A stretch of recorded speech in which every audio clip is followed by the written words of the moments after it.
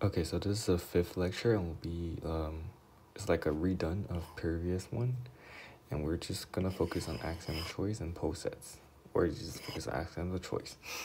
Okay, so we let index set be non-empty and we let x be a set and we let this be a subset of x. Okay? Then we define the union to be the set of all a and x such that a is an x lambda for some lambda and would be the intersection to be that set of all a such that you're in x lambda for all lambda in that next set. Okay, so for some and for all. Union and intersection. That is the meaning. Okay? And here's some note. So we suppose the index set to be non-empty. What happens if the index set to become empty? Well, for the union, if it is non-empty, so suppose it's non-empty, we have an element then we have that x is an x lambda for some lambda in the empty set, which is a contradiction, which means that it must be an empty set. Well, you might guess, well, for intersection, it might also be empty, right? Because, okay, so, yeah, I guessed that, but it turns out to be wrong. So why? So for the intersection, if x is not an intersection, right? If you're not in the intersection, wait, follow by definition, which means that there exists, right? There exists an element from an empty set such as you're not in it, which is a contradiction because we say that there is an element in an empty set, which means that we can't have x is not in this, which means for all the x you must be in this, which means that the intersection is the universal space, right? Is is the everything, right? It's everything. Okay. Alright, let's just move on. We define this set. You might already seen that. So lambda be not, no, the index set to be non-empty.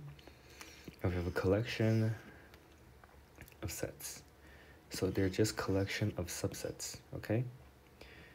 And we define this set to be all the function that takes uh, the index set to x such that your each lambda f lambda is an x lambda for all lambda and index set. Okay, so this is the notation. And element element in this set is called choice function. So the choice function. Okay, so we require them to be the subset of x. What if some of them are empty? Then followed by definition, which means that we have f lambda naught is an x lambda naught right? Which is false, right? You're in some empty set. It's false, right? Which means that it must be empty, right? This set must be empty. If it's not empty, if it's not empty, we can find a function, blah, blah, blah, blah, which means that for this lambda naught, we have lambda naught is in an empty set, right? An element is in the empty set, which is clearly false, which means that we can't have any elements in this set. And we come a new definition which says for any x, y non-empty, x to the power of y is the uh, set of all function from, from y to x. right, from y to x, set of all function, right? Which is followed by our notation, right? Is this, where y is our index set, right? y is our index set for each y, and xy, f is a function, which means that fy is an x right? So our x yx is equal to the space x for all y.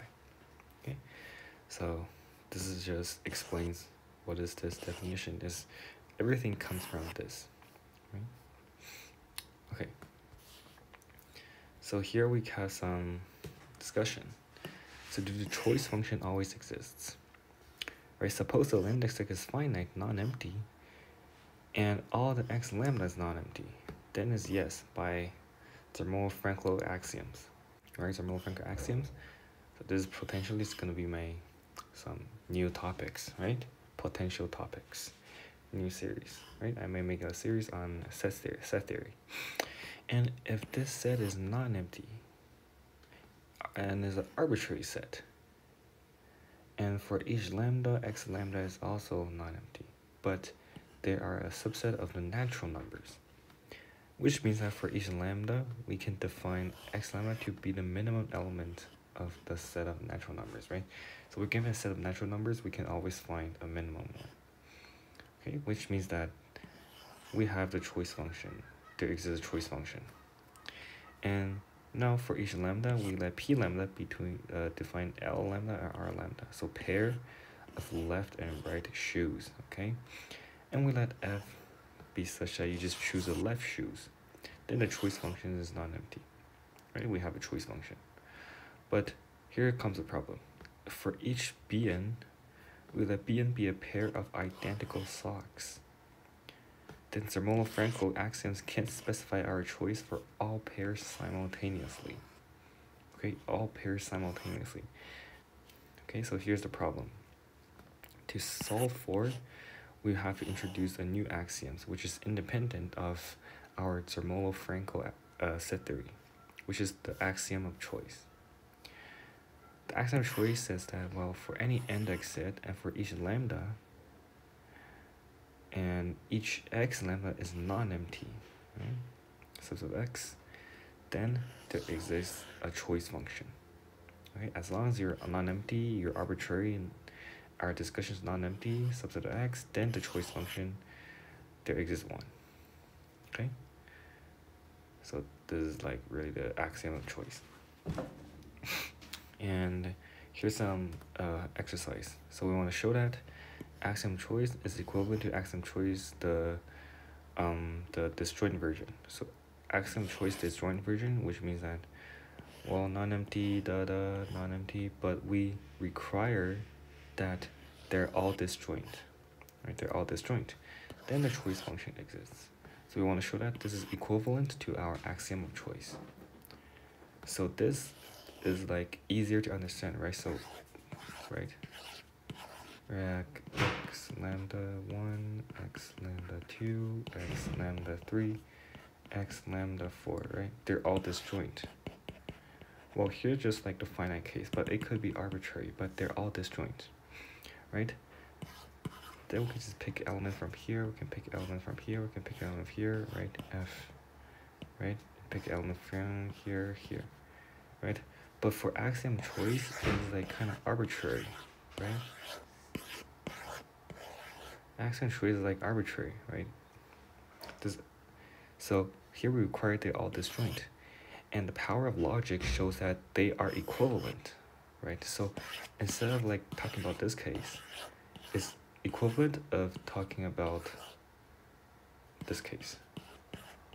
You see?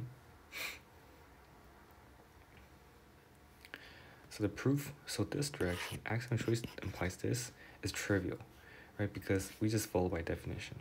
This, this, this. Well, we didn't require they to be a disjoint, right? As long as this, then we have this non-empty. So this can, can be uh, thrown away, right? Right? This direction is trivial.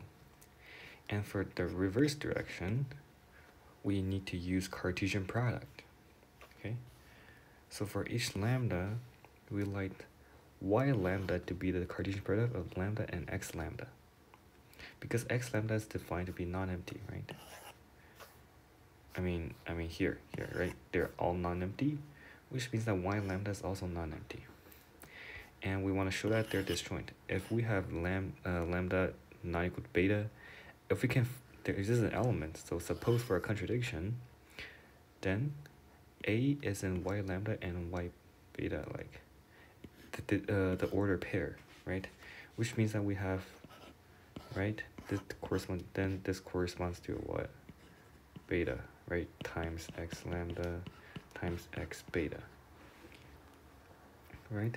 So if A is an intersection, which means that A must be equal to lambda and equal to beta, but we define to be not equal to each other, which is a contradiction, which means that we can't have any elements in the any any intersection. Alright? So here we are well set up, right? It's okay to define Cartesian product. It is still a set, right? Which means that we have a choice function, right? By, by disjoint version, right? Disjoint version, we have a choice function, which means that we can pick an element in the set, in this set, such that the set of all, you know, by definition, where each y is the index set Cartesian product with all the unions. Okay, The unions of all. Oh my god, the, the, the okay the union of all x lambda. It is our set y. Okay, so now which means that each g lambda is in this set which means that g lambda is equal to lambda y for some y and x lambda. If we just define a new function f lambda is equal to y, we're done.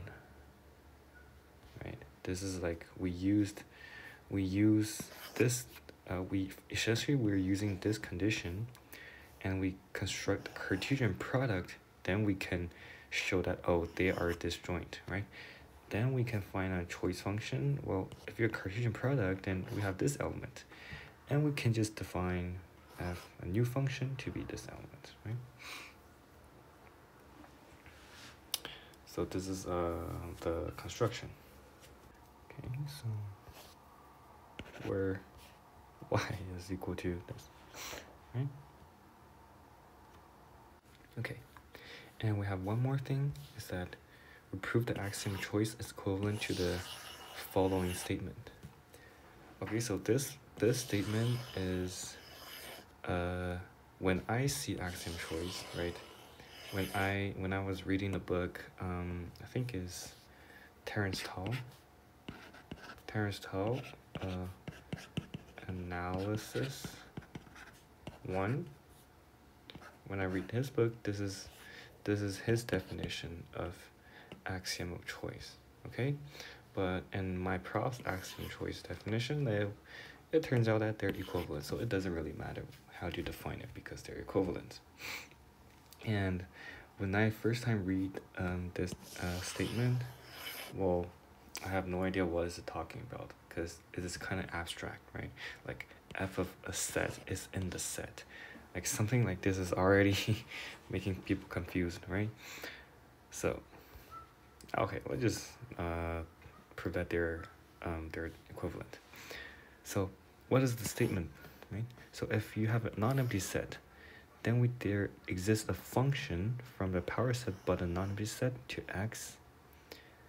So your input is all the subset of x, but the empty set, right? We just don't we just don't talk about the empty set. So for any subset, this function takes the subset to this set. Okay, so if a is the subset of x, your function it takes value a and it maps to x right? It maps to x. If it belongs to A, A is a subset of x. So you're you map to x, right? Doesn't really matter. So f of A is in A, right? This for any subset, okay? There exists a, there exists a choice function, like, if you want to say so, right? Okay, so prove this direction.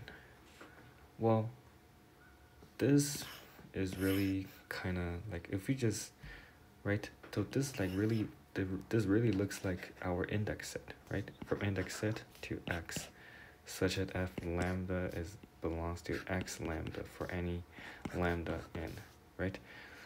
So we just let this set to be our index set. And for each a, right, in the index set, well, this index is the power set, we let, we define xa to be equal to a? So we associate a subset of x to be just equal to a. Okay? And xa is non-empty because a is in this set. Right? So here we just use the axiom of choice, right? There is a choice function xa. Which means that if there's a choice function, which means fa is in xa, which is a for all a in this set. So fa is in a. Okay? Isn't that smooth? Okay, so for the reverse direction, well, for the reverse direction, we want to use this to show the axiom of choice. Okay? So how do one like pres like start the proof? Right? Because well, notice that the powerful the power of this axiom is that we can providing the existence of the choice function, right, for any non-empty set, right? Well, look at our definition of axiom of choice, right?